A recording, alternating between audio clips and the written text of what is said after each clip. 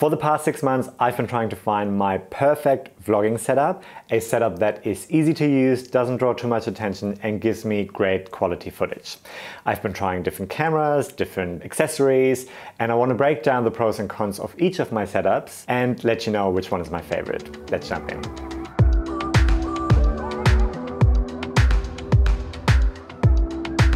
Welcome back to the channel. If you're new here, my name is Dan. I make videos for part-time creators or lazy creators to help them get things done. Thanks so much for clicking on this video and I'll hope you stick around.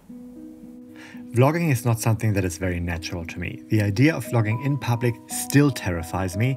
I always stop recording immediately when I see people. So my aim for my vlogging setup was to find the sweet spot between a low-key setup and great video and audio quality.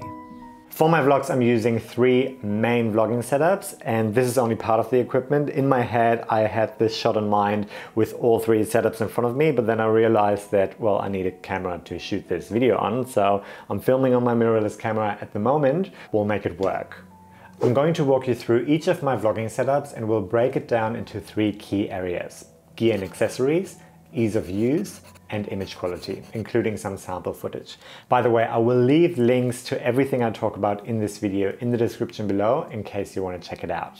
Okay, let's start with the mirrorless setup. I just changed cameras, so I'm filming now on the Sony ZV-1, so I can show you this setup. For my mirrorless vlogging setup, I'm using the Fujifilm X-T4, but you can really use any mirrorless camera. A lot of the more advanced YouTube vloggers use the Sony a7S III or the Canon R5 or R6, but this one works well for me. For vlogging, I use the Fujinon 16 to 55 millimeter zoom lens. Because this camera has an APS-C size sensor, this lens is the equivalent of a 24 to 70 mil lens on a full frame body. For audio, I use the Rode VideoMic Pro Plus, which you can simply attach to the hot shoe on your camera and plug it in. It's a shotgun mic, which I love because it gives you clear and crisp audio while not picking up all the noise around you. I also use a variable ND filter for vlogging, which allows you to control the amount of light that's coming into your camera so you can keep the same settings for aperture and shutter speed, even if the light changes. So you just uh, attach it to the front of your lens and then you can just turn it and that controls the amount of light that's coming in. As a tripod, I use the SwitchPod, which has a super slim profile and it fits into any side pocket of any backpack. You can either screw the camera right on top of the SwitchPod or you can use this ball head in between, which gives you a little bit more flexibility when it comes to angles.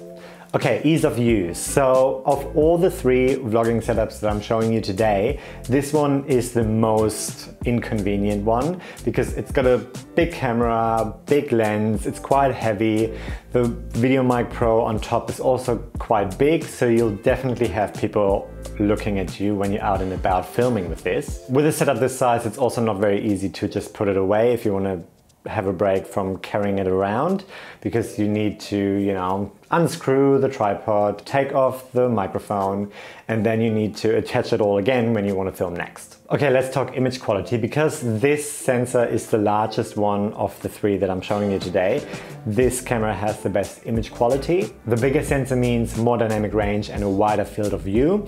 And with the opportunity of changing lenses, you can really get the shot looking exactly like you want to. I'm really happy with the image quality for video on the X-T4, which is one of the reasons why I upgraded last year from the X-T2, because Fuji really put a lot of effort into their video features with improved autofocus and they included image stabilization, which is perfect for video.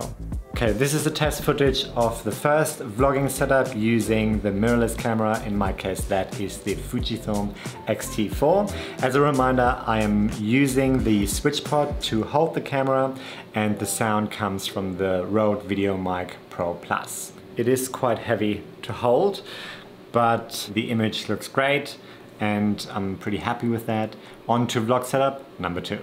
The second setup that I wanted to show you is the Sony ZV-1. The ZV-1 is a compact little point and shoot camera that Sony designed specifically with vloggers in mind. It can shoot 4K up to 30 frames per second and HD up to 120 frames per second. The lens is the equivalent of a 24 to 70 mil and you can get an aperture of up to f1.8. With this camera you also have a directional microphone built in that comes with this little wind muff. Obviously it's not as good as the VideoMic Pro Plus, however it does give you much better audio quality than most other internal microphones, including the one that I have in my mirrorless camera. So you don't necessarily need an external mic to record audio with this camera. As a tripod, I use the Manfrotto mini tripod and it's perfect for the weight and the size of the camera. Because of this, it's really easy to carry around when you're out and about or traveling. Even with the tripod attached, I find that I can easily put it in my pocket of my jacket and I can just take it out next time I want to shoot something. Changing the settings is pretty easy as well as you can access aperture and shutter speed quite easily and you can pre-save three different manual settings and quickly switch between them. It also has an internal ND filter. It's not variable, but definitely workable and you don't need to carry around any extra filters. One downside of a camera this size is that the battery life is pretty short. So I usually carry two to three of these third-party batteries with me and I got them pretty cheaply off Amazon. The Sony ZV-1 has a 1 inch CMOS sensor, so it is smaller than my APS-C sensor in my mirrorless camera, but it is bigger than the sensors that are built into the iPhone. The image quality is pretty good. I'm usually very happy with how everything looks. It's a little less cinematic, but with the aperture of f1.8, you can still get pretty great results. The dynamic range on this camera is not as good as on my mirrorless, which makes sense with the smaller sensor. I feel like the highlights blow out pretty easily, which might be because the image, when I put it onto the computer, it always looks much brighter than on the camera. So even when I use the histogram to monitor exposure, so I feel like I need to remember to always underexpose a little bit and then the image is a little bit better. Okay, this is the same test again now using the Sony ZV-1. I'm holding the camera with the Manfrotto mini tripod and I'm using the internal microphone. And the last vlogging setup is the iPhone 12 Pro Max. I actually made a full video about this vlogging setup a while ago and I'll link it up here in case you want to check that out. There's not much to talk about when it comes to camera equipment. I'm obviously using the cameras that are built into the iPhone. The good thing is that you have a variety of different cameras, so you get a variety of different shots for your vlogs. Um, but the best results you can usually get using a wide camera, which I believe is this one. In terms of accessories, I use this little Rode VideoMic Me, which is a small shotgun mic that attaches to your phone via the lightning port. It's super handy, but unfortunately I always have to take off the case if I want to use it. And it also comes with this little wind muff as well, which is great uh, in windy situations and you kind of need it even if there's only a little bit of wind. But it does make it a lot more noticeable, so people might start staring at you. I also use this variable ND filter. This is the Sandmarc Motion variable ND filter, I think. I'm not sure, I'll link it down below. And you just clip it to your phone over the camera and then you can control how much light um, is coming in. And that's perfect if you want to shoot in manual settings and want to control your shutter speed or your frame rate. If I want to shoot using manual settings, I use the ProTake app, which I have on my phone, and it lets me control each of the settings individually. If I vlog with my iPhone, I'm also using the Manfrotto mini tripod and the SwitchPod phone clamp to hold the phone. Taking this off again. Okay, ease of use. So this is by far the most convenient setup of the three. Even if you don't use any of the accessories that I just showed you, you can still get pretty decent results. If you're filming on your iPhone, I feel like it's much less obvious that you're vlogging and you can just pretend that you're on a FaceTime call, but with all these accessories, it might give it away. Okay, let's talk about image quality. This is actually the biggest drawback for me when using the iPhone for vlogging because I feel like the image quality is just not comparable to the other two cameras and I personally don't like how the image looks and how artificial it looks, especially when the software kicks in to correct the exposure in different areas of the image. It just makes it look a bit weird. And I even find this when I'm using the ProTake app and shoot in manual settings. I usually try to use the standard wide camera on the back even if I'm filming myself because I know this has the best image quality and I don't really use the front camera very often. And this is a test footage using the iPhone. I'm using the VideoMic Me for sound and the Sandmarc Variable ND filter.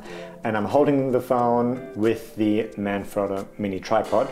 I'm very precious when it comes to image quality, but if you're just starting out, I think the iPhone is a great tool and it's perfectly fine for getting into vlogging. Alright, here's a quick recap for you. The Fujifilm setup wins in image quality, but is the most inconvenient to use and it's got a lot of expensive gear.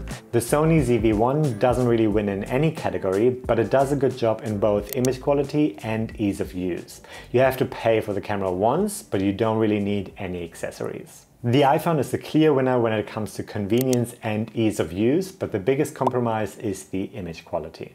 Generally, I think you can create great vlogs with each of these setups. All three cameras can shoot in 4K and up to 120 frames per second. So it really comes down to your personal preference. And ultimately, it's all about storytelling anyway and how you keep your viewers engaged. I personally watch vlogs on YouTube that have been shot on the iPhone entirely and I don't really mind. But what is my favorite vlogging setup?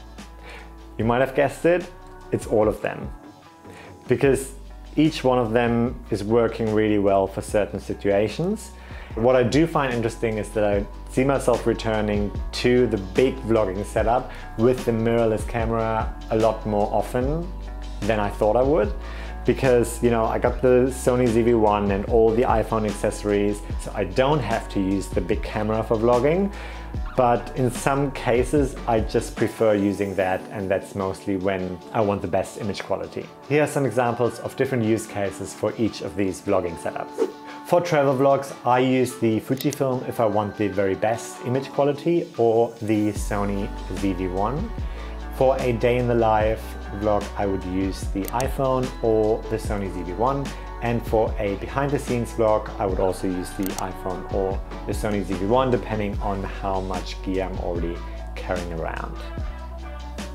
That's it for this video. I hope you enjoyed this comparison. Let me know in the comments below what you are currently using for vlogging and if you could see yourself using one of these three setups yourself. If you liked the video, give it a thumbs up. It would really help the channel out. And if you want to see full-length vlogs, I'm gonna link an example for each of these setups below so you can check it out. And again, I've linked all the stuff that I talked about in today's video below as well, if you want to have a look. And once again, thanks so much for watching and I'll see you in the next one. Take care.